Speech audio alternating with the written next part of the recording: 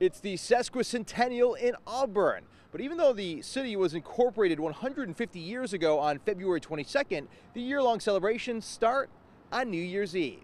For the fireworks and live music. This is a special event for us. We had to do it right. Planning for Auburn's free New Year's Eve anniversary was a year in the making. Our VIP section has sold out. We have 300 people in there.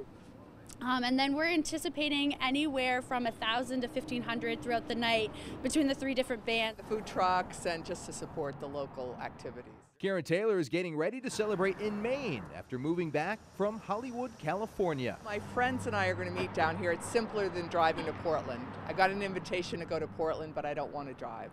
Other locals are booking rooms downtown. So a lot of them are doing a staycation. They're, you know, taking hotel rooms right across the street so they don't have to drive home the 10, 15 minutes. You know, the, the community is really excited about it. So, I mean, why not come and be a tourist in your own town? Crews have been setting up since 8 a.m., counting the minutes to say Happy New Year and Happy Birthday. And according to the Auburn 150 website, this is the first official New Year's Eve celebration in the city's history.